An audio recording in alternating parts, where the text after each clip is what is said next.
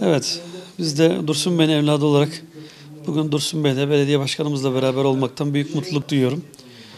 Ee, Genel Sekreter Yardımcımız Sayın İsmail Berber, ee, Kasım Bostan Vekilimiz ve Merkez Karar Yürütme Kurulu üyemiz e, Ali Aydınoğlu'la beraber bugün ilçe danışma meclisine de katılmış olduk. Tabii Dursun Bey e, bizim için çok önemli. Sadece bizim için değil, milletimiz, memleketimiz için, devletimiz için ve Türkiye için gerçekten önemli bir ilçemiz. E, Balıkesir'in yüz akı, e, AK Parti'nin kalesi. E, Ben işte 11 Kasım itibariyle Altıyıl Belediye Başkanı oldum. E, 11 Kasım'dan 2-3 gün önce zannediyorum 8-9 Kasım gibi Sayın Cumhurbaşkanımızla görüşmüştük.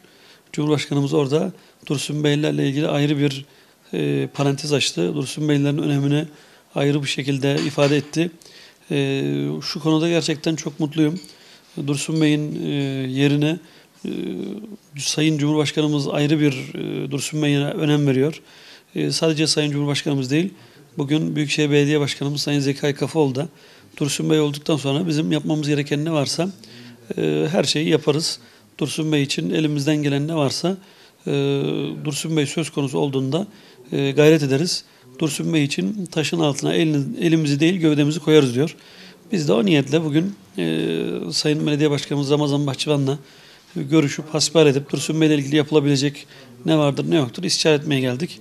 E, Sayın Başkanımızın misafirperverliği ve ev sahipliğine de teşekkür ediyorum. E, Dursun Beyli hemşehrilerimize de saygılarımızı, sevgilerimizi sunuyoruz. Dursun Bey de tabii e, çok güzel yatırımlar olmuştur. E, sıkıntılar da vardır. E, zaten bu işin tabiatında vardır ama e, bugün Dursun Bey hizmet edilebilmesi için çok güzel bir ortam e, vardır ve inşallah bu sürecin sonucunda Dursun Bey daha farklı noktalara doğru evrilecektir diye düşünüyorum. Bugün Balıkesir'den iki değerli hemşehrimiz sağ olsun bizleri ziyarete geldiler. 6 Eylül Belediye Başkanımız Sayın Hasan Avcı ve Büyükşehir Genel Sekreter Yardımcımız İsmail Berber. Kendilerine teşekkür ediyorum ziyaretleriyle ilgili. Tabii onlar da bizim hemşehrimiz olduğu için Dursun Bey'e yapılacak işleri beraber birlikte masaya yatırdık. Neler yapılabilir? Ee, Büyükşehir bu sene inşallah Dursun Bey'imize özellikle çok büyük sorunumuz olan kırsal mahalle yollarımız. 157 kilometre e, asfaltsız yolumuz var. Onların asfaltına inşallah ihale edecekler 12 Mart'ta.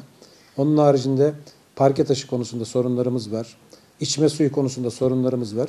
Bu sorunları inşallah e, ihale süreciyle 2018 yılında e, Büyükşehir'imiz halledecek.